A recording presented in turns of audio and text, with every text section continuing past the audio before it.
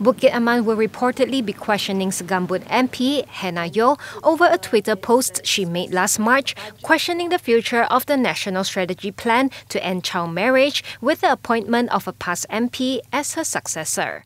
The former Deputy Women, Family and Community Development Minister tweeted on Tuesday that she received a call from the Federal Police Headquarters along with a screenshot of the allegedly offensive tweet. She added that she can't ask questions nowadays, even during the May Parliament session.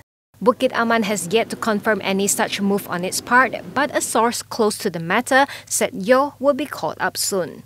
The Pakatan Harapan led government launched the plan in January as a five year roadmap to end child marriages.